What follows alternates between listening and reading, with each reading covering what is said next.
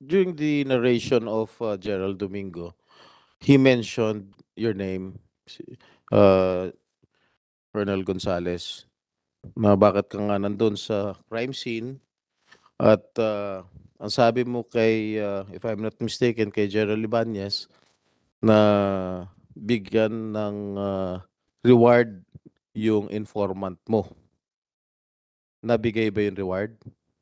Ah, ganito po yun, Your No, Honor. no, t- Ah. no, no. Yes or no? Nabigay ba yung reward? Wala po akong uh, knowledge doon, Your Honor. Wala pong naibigay, Your Honor. Ano, no? Wala pong naibigay doon, Your Honor. Wala nabigay. Okay. Next question. Who is your informant? Ah, yun nga po ang sinasabi ko po, Your Honor. Hindi po sa akin galing, sir, yung information. Nung No, sabi mo kay Gerald Ibanez, Gerald ba? Colonel, Ah. Gerald Ibanez. General Domingo, sir. du- ibigay yung ibigay mo na yung uh, reward sa aking informant. Is that is that clear, Gerald Domingo? Yun ba yung sinabi mo? Yes, Your Honor. All right. Now I am asking you, Colonel Gonzales. You better tell the truth. Yes, Your Honor. And Ito po yung, oath. ito po yung nangyari, Your Honor. Who is your informant? Period. Your Honor, hindi po ako yung ah, nagbigay ng information, Your Honor.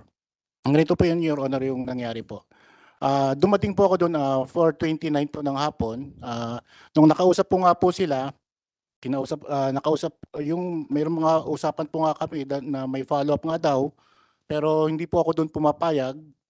Eh, Naririnig ko lang po yung usapan nila na ah, ganun po ang gagawin nila. Pati po yung mga options. And then, kinausap ko po si Sir Domingo, sabi ko, Sir, baka pwede kausapin ko lang muna yung mga dati kong tao. Ang sabi niya, okay, sige. Actually, Your Honor, binigyan po niya ako ng 5,000 pesos para pakainin po yung mga tao.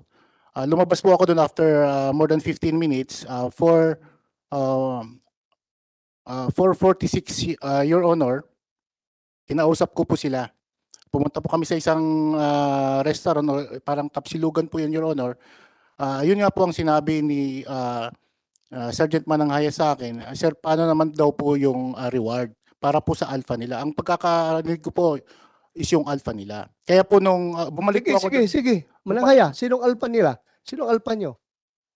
Your Honor, kagaya po ng sinabi ko nung nakaraan na session, wala po kasing, hindi po kasi ganun ang pagkakasabi ko. Yung reward po na hini, sinasabi po namin sa kanya, ito po yung binibigay ng opisina na para panggastos na rin po namin para sa pagtatrabaho. Yung, So who, who is lying now? yung, yung Sabi ni sabi ni Gonzales, Colonel Gonzales, para sa alpa ninyo, Mananghaya. Tapos ngayon, ikaw naman, sinasabihan mo si Gonzales na yung reward galing sa opisina na para sa operating unit. Which is which? Ah, sino ngayon na nagsasabi ng totoo sa yung dalawa? Honor, yun lang po ang pagkakasabi ko sa kanya, yung reward. Pero wala po akong sinasabi ah, tungkol sa alpha. Kasi kagaya po sinabi ko po nakaraan, Gonzales, Wala oh, po talaga. directly sinasabi ng tauhan mo na hindi yung para sa alpa. Tapos ngayon, ikaw humihingi kay Domingo ng para sa asset. So sino ngayon ang ah, Nor- normal, asset nyo? normal, normally, Your Honor, pag humingi po tayo ng reward, hindi naman po para sa atin. Humingi po tayo ng reward, hindi naman po para sa pulis. Wala pong hinihingi. Oh, yun na. Na- That's very clear. Yun, yun, po, very yun, clear. yun po yung totoo. Meron ba talagang ah, Kaya po yung recipient yan? kaya po yung sinabi ni- nila sa akin na ah, reward para po doon sa Alpha, eh po, ah, Mananghaya, mga 541 po, pumunta po ako kay Kwan. Kaya- wala pa akong nag-cite in contempt dito na babae na pulis, ha? Please don't make me do that. Please don't make me do that, ha? Nakadalawa ka na, ha? Kanina, yung pera na sinasabi mo 1.7, hindi mo nahawakan, hindi mo nabilang, hindi mo nakita, pero ikaw nagsabi na 1.7. Very clear yan na pagsisinungaling iha. Ha? Huwag mo akong pilitin na mag-convict ng, ah, mag-contempt ng isang babae na pulis. It will really break my heart. Kaya please, magsabi ka ng totoo. Pagdating dito ngayon, itong sinasabi ni Gonzales, kung ikaw ba humingi ng reward para sa alpa ninyo. So kung ganun ang pagkasabi, may hawak ka na alpa. So ngayon, may alpa ka o wala? Direktahan tayo. po, y- Your Honor, wala po akong alpha. At Oh, sige, sige. hindi po kumahawak na alpha. Sige, wala kang alpa. E paano ngayon yung impormasyon? Saan galing yung impormasyon? Doon kay Mayo. Paano ninyo nahuli si Mayo? Pabalik na naman tayo dito ngayon. Your, Your Honor, ah, information lang, kagaya po yung sinasabi ko po nakaraan, puro information lang po ang binibigay po namin. Kasi po IFLD po kami, kami po yung nagbibigay ng O, information. kaya nga, saan galing ang information ninyo? Paano ma- kayo makabigay ng impormasyon kung walang ibang source? Kayo lang, kayo lang inimbento nyo yung information. Ah, Your Honor, hindi po. Ah, paano? Your Honor, yung, yung trabaho po na yon, yung trabaho po namin, ah, kami na po yung nag-build up po nun. Kumbaga po, yun po yung mga dating trabaho na rin po na ginawa po namin na Yun naman binalikan pala din po eh. namin. Yun naman pala eh. Wala kayong informant. Kayo nag-build up. Kayo nagsumikap na makaproduce ng informasyon. Honor. O y- dito kasi tayo nagkagulo-gulo sa issue ng informant. Dahil gusto ninyo, kung sa Bisaya pa, gusto ninyong kuprasin. Gusto niyo kup alam niyo yung kupra? Sa Bisaya, yung kupra, yan yung harvest time. Kasi ang buhay doon sa Mindanao, kami masyadong depende sa kupra. Pag sabing kupra, harvest time yan. Magkupra tayo, may magkakapera tayo. Gusto ninyong kuprasin, gawing kupra, yung yung reward na 2 million para sa informant. Kaya nagkandalit-silit ang trabaho ninyo. Ano? Wala kang informant, di ba? Pero kiniklaim ninyo ang reward money. Ibig sabihin, gusto talaga nyo kunin yung 2 million.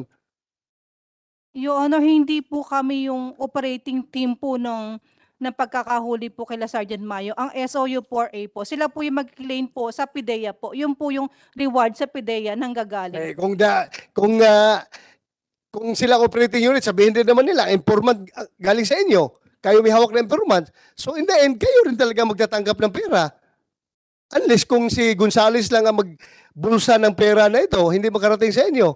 Kasi si Gonzales man na nagkiklaim ngayon doon kay Domingo. Ha, iha, ayaw ko mag-contempt ng babae. That's the last thing that I would like to do. Ha, kaya mag, magsabi ka ng totoo. Ha? Balikan kita doon sa pera. Nakita mo, hindi. No, Nabilang mo, hindi. no, Your Honor. Ha?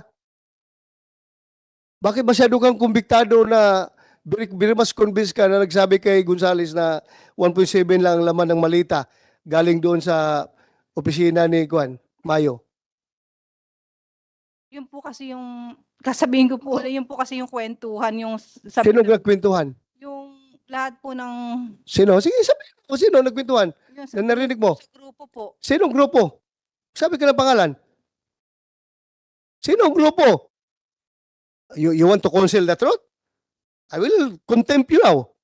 Sige. Ah, yun din po kasi yung usap-usapan nga po na, Usap-usapan nga, sino nga nag-usap? Alangan naman, narinig mo lang yung sa radyo? Sino? Sige, sabihin mo, sino nagsabi ng 1.7? Para maniwala ko sa'yo na hindi ka nagsinungaling. Sino nag-usap? Narinig mo? Sige. wala po yun. Ha? Wala, narinig mo tapos walang nag-uusap. Ah, Pas, ah, honor, pasensya na po kasi hindi po kasi ako makapag-isip kasi kasi po ah, may panareceive na rin po kasi ang Napolcom na charge po namin eh. So Ha? kailangan po namin maghanap ng abogado pa kasi wala po kami. Naku, pabugado-bugado ka na ngayon. Akala ko, matino ka na babae. Ngayon, pabugado-bugado ka na. Sinabi mo na 1.7 tapos hindi mo masabi-sabi yung kasamahan mo? Takot ka sa kanila? No, Your Honor. Ha? O ngayon, imbinto mo yun.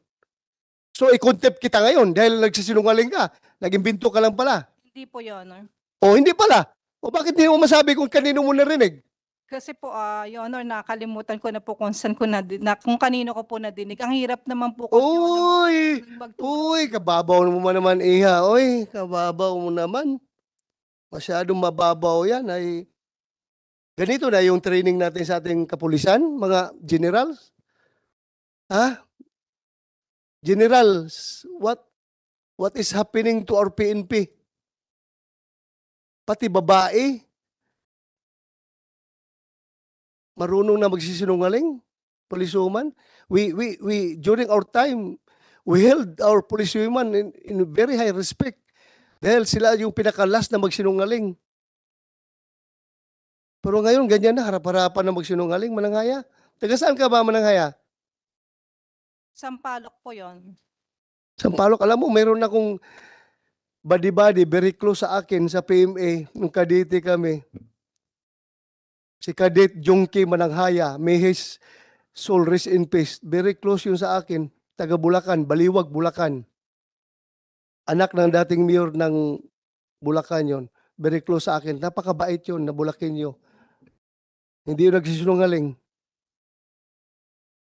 Ewan ko sa'yo, bakit ganun ka? Ha? Go ahead, Senator Bong Revilla. Okay, kay uh, Colonel Gonzales. Colonel, who is this certain uh, Michael Bagang o Bagang? Ah, yes po, Your Honor. Ah, siya po yung ah, confidential informant ko po, Your Honor. Nandito ba siya? Negative po, Your Honor. Negative? Yes po, Your Honor. Kasama ba siya dito sa operation na ito? Negative po, Your Honor. Hindi po siya yung ah, informant Ito daw yung pinagkakatiwalaan mo daw itong tao na to. Ah, actually po, Your Honor, ah, siya po yung isa pong informant ko po, Your Honor. Ah, lahat po naman po na binibigay niya ng information is naka-Copland naman po. It's So, all, all. Copland based. Opo. Andun din po siya sa Copland po. Nakasulat po yung pangalan niya doon, Your Honor. Uh, Chief, uh, Azuri, uh, I mean, uh, Acorda, pakitignan nyo rin yung, uh, yung tao na yun, yung Michael Bagang. Baka may kinalaman din dito yan. Sigurado kang walang kinalaman dito sa kasong ito. ah. Ah, negative po, Your Honor. Ah, yun nga po ang sinasabi ko. Ah, gusto po kasi nilang palabasin na sa akin po yung informant. Ah, yun- ito po yung kapalit ng So hindi sa kanya galing itong info na to? Negative po, Your Honor. Negative. Opo. Kasi ah, normally naman yung mga binibigay kong information sa IFLD, dumadaan po yan kay Sir Portera ah, at saka kina ah, ah, sa, ah, Lieutenant Amirol, sila po nagpa-process. Then kung, kasi po yung binibigay ko po sa nila, raw information lang po yun. Then sila po nagpa-process, pag okay na po, pag buo na yung trabaho, doon po sila po nag-aassign ng ah, kung sino po manghuhuli o anong iso ibibigay. Yun po, Your Honor. Eh, alam mo, Gonzales, kahit na nagdududa ako sa'yo, at least yung nakita ko yung video, eh medyo, medyo nagtiwala tuloy ako na meron ka pa rin naiwan na malinis na hangarin sa puso mo. Dahil ayaw mong gumawa ng kalukuhan itong mga dating tauhan mo. Doon sa nakita kong video na kinumprunta mo sila about the money. Kaya sana tuloy-tuloy yung ganun na klaseng ah, ugali na isang opisyal na ayaw gumawa ng kalokohan ng mga pulis na under sa kanya. Pero alam mo, bakit tayo interesado sinong informant? Dahil kung malaman natin kung sinong informant, malaman rin natin kung saan ang source nitong shabu na ito dahil alam ko ganun kalalim yung informant na yan. Kasi ayaw magsalita ni Mayo. Ngayon, pag naklaman, nakuha nating informant, siya ngayon magsasabi, sir, actually yung shabu na yan, galing yan doon, doon sa ganito, ganun, ganun, ganun. Yan ang gusto natin malam. Once and for all, matapos ang problema na ito. Pero ngayon, parang nagtataguan kayo eh. Nagtataguan kayo. Ayaw nyo sabihin. Itong grupo mo sa IPLD, they said they are working under you kahit wala ka na sa IPLD. Sila ngayon ang source ng information. Ngayon sabi nila, wala daw silang informant, sila lang nagde-develop ng information na yan. Sige lang, okay lang yun. Pagdating sa reward, hindi ko na masyado pakialaman yun. Ang sa akin lang yung informant talaga para matumbok natin ang ah, source nito. Kaya nga, balikan kita. Yung ah, nag-escort ka kay Lasarte, Darwin Lasarte, yung ah, pina- lumabas siya sa kulungan galing sa QC. Sino yung pidig director mo nun? Nagutos sa'yo na sundan mo yan. Si, escortan mo si Darwin Lasarte. Oh, ikaw. Ah, si, di pala, si Ibanez. Sino pidig director mo nun? Ang Sabi mo, Mark Vehicle pa yung uh, in-escort mo. Your Honor, yung PEDIC director doon is si Sir Lee, Your Honor. Sino? Ah, humingi po ako ng clearance sa kanya na mag- i sunduin ko yung asset namin na lalabas sa kulungan. Kaya nga, sino nga? Si Director Lee, Your Honor. Ha? Si Police Brigadier General Lee, Your, Lee, Your Honor. Ray? Lee. Lee? Yes, Your Honor. Sigurado ka? Yes, Your Honor. Siya po yung PIDIC Director nun. During Humingi ka ng clearance sa kanya? Yes po, Your Honor.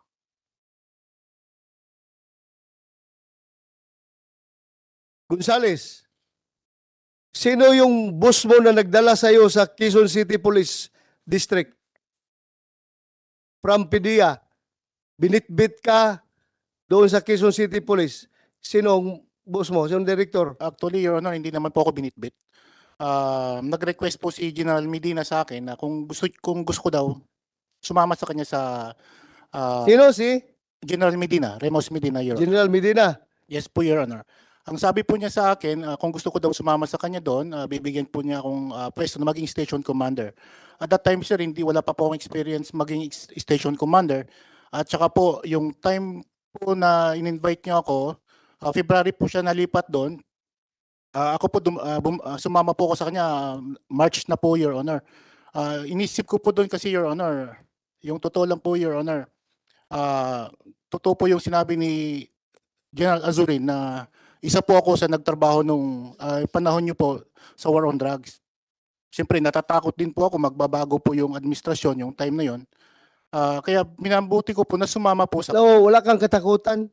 Opo, Your Kung matino ka na pulis ha. I tell you, I am your chief PNP that time.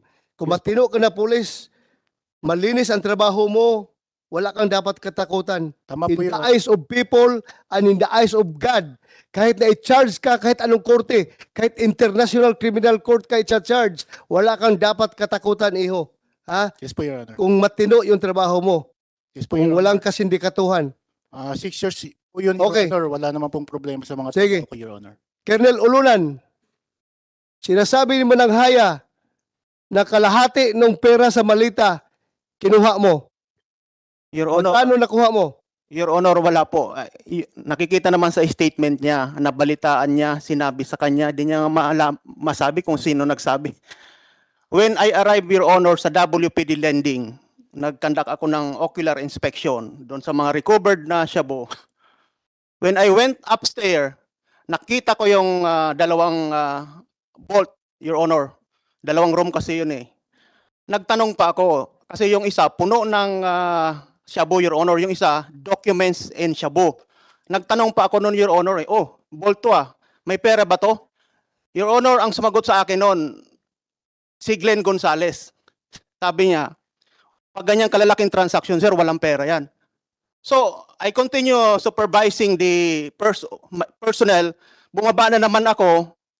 Tinitingnan ko yung ah, aking mga tao, pati yung mga security outside para i-check ko kung ah, dumating na yung mga insulating witnesses. I asked, ah, I asked about the vault. Sabi ko, bukas na to ah. Sumagot yan sa akin si Colonel Gonzales, pag ganyan sir ng mga transaksyon, wala ng pera yan, bang to bang transaksyon yan. So, tumahimik ako sir. Wala po akong sinasabi ni Manangaya, iwan ko kung saan niya napulot ito. That is very heresy. Nabalitaan, nagkwentuhan. Your Honor, wala po akong tinatanggap yan. Kaya nga, galit na galit ako. Five days after, nung ah, malaman ko yung video na yan, galit na galit ako, Your Honor, nagmumura ako doon sa aking opisina, sa 4A. Bakit ni isa man lang sa akin walang nag-text about the pilferage na yan? Alam ng mga tao ko yan kung gaano ako magmura sa opisina. Dahil galit na galit ako doon sa pilferage na yan. How about yung inutusan mo si Salmingo na itago yung mga gamit ni Mayo? Salmingo, paano ba inutos sa'yo yung pag clean up ng ah, area? Yung mga ebidensya against sa Domingo? Paano inutos sa'yo yon? Your Honor, good morning. Uh, y- 1:30 PM, sir. Naka-receive ako na ang uh, utos galing kay Lieutenant Colonel Ibanez to check all the personnel that was uh, on the field. Speaking of SOU NCR. Paano, sa- saan ka ba assign? Sa NCR, sir. SOU NCR, sir. Is o yun siya, deputy ka ni Ibanez. Yes, sir. Aso sino ang nag-utos sa'yo na iligpit yung mga ebidensya against kay Mayo. Yes, sir. When we arrive, Incriminating evidences against Mayo. Sino nag-utos sa'yo? yes, sir. When we arrive at WPD, sir, around uh, 4 p.m., uh, nagkaroon nga po ng meeting doon sa second floor, sir. Uh, I never took part of the meeting. Uh, wala po akong sinuggest. Wala rin words na nag-utter sa bibig ko, sir. And the next uh, uh, instruction that I received is to check, sir, if I may, sir. Sige. Sir, among the officers present at the second floor, ako lang po ang police major, junior at rank. Hindi ko po naging practice in my 14 years sa PNP Drug Enforcement Unit na makialam ng ah, crime scene na may crime scene, Your Honor. It was an instruction on my part. Hindi po ako pwedeng magkusang pumasok doon. Ba- bakit ka nga pala nandoon na hindi ka man kasama sa operation? Sir, sinama lang po ako ni Lieutenant Colonel Ibanez, Your Honor. Ayun na. Yung boss mo si Ibanez. Yes, Your Honor. Ah, Domingo. Doktor yung sinasabi ng isang major na kayo nagbigay ng instruction kayong dalawa niyo ulunan? Sa tingin ko, si Colonel Ibanez ang nag-utos niyan na Your Honor. Unang-una po, dalawang buwan pala ako sa PIDEG nung operasyon na yan. Eh halos hindi ko pa kilala yung mga taong nasa sakupan ko, Your Honors. Paano po ako mag-utos na maglinis siya ng mga personal belongings ni Mayo? Eh, hindi ko pa sila masyadong kilala, Your Honors. So you, your word against your word. Sige, go ahead. Sir, if I may. Natandaan ko po nun, sir. You were standing right next or imi- ah, doon po sa may CR, sir. Against your word. po, sir. Sige, go ahead. Ah, Sir, during if I may. time, sir, na ah, Natandaan ko po nun, nire-retrieve, sir. yung You were standing sir. right next Where in fact, hindi or imi- ah, doon po sa may po doon sa CR, sir. ah, second floor, sir. Ano mga belongings yun? Ah, ang nakuha ko lang po Against doon your sa word. loob, sir, Sige, sa go ahead. Ah, case. sir, During if I may. sir, garment, sir, na ah, Natandaan ko po you nun, sir. You were standing right next in fact, hindi or imi- ah, ah, nilagay doon po sa may CR, sir. Ah, second floor, sir. Ano mga belongings yun? Ah, ang nakuha ko lang po doon your word. loob, sir. Sige, go ahead. Sir, Ah, if I may. sir, garment, sir, na ah, Natandaan ko po you nun, sir. You were standing right next ah, fact, hindi or imi- ah, ah, bigay doon po sa may CR, sir. Ah, second floor, sir, Domingo, sir. Ano mga belongings yun? Ah, ang nakuha ko lang po doon your word. Sige, go ahead. Ah, sir, if I may. ah, Natandaan ko po nun, sir. Beretta po yung service firearm niya, sir. Ang gun case na po yan, sir, is Glock.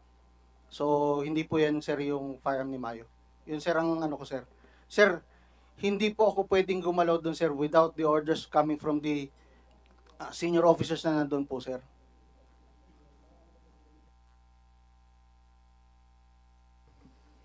So saan na ngayon yung mga ebidensya na yun? Sir, iniwan po doon sa second floor, sir. Iniwan sa second floor? Yes, sir. So nakasama ito sa inventory? Inventory of evidence doon sa crime scene, ulunan, ikaw man nag-supervise doon, kasama yan? Nakita yan doon? The investigator on case, uh, Your Honor, uh, will uh, explain Sino kasi marami po akong sinusupervise. Sino ang investigator on case? Patrolman Gomez, Your Honor. Oh, tingnan mo yung inventory mo. List of inventory of evidence. Kasama ba yon? Yung uniforme ni Mayo? At saka ano pang nakita mo doon ah, sa bingo? Case folder, sir. Case folder. Anong klaseng case folder? Ah, hindi na ako naging specific, sir, kasi hindi ko na na-sort out yun, sir. Parang to my understanding, sir, it belongs to uh, SOU NCR cases, sir. Yung mga ongoing po namin ng mga kaso, sir. Sige.